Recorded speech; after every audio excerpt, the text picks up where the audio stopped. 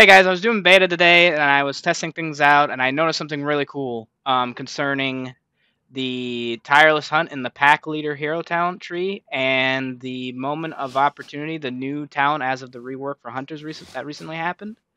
Um, let's go quick over this. As you can see, moment of opportunity when a trap triggers, you gain aspect of the cheetah for three seconds, can only occur every one minute. That's all traps, freezing, tar trap, steel trap, any trap. And then you have this talent right here, Tireless Hunt. Aspect of the cheetah now increases movement speed for by 15% for another 8 seconds.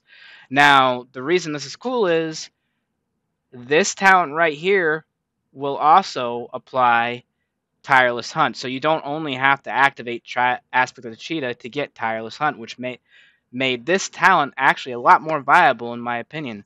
I will demonstrate here. Now, again, pack leader is, is is for survival and beast mastery hunters only. So if you're a marksman hunter and you only play marksman, I'm sorry. Unfortunately, you do not get this. But I will demonstrate right here. So there's this lonely wolf right here. I'm just going to trap him. And then I get 30% speed right here for 3 seconds. And then I get another 8 seconds of 15% increased movement speed.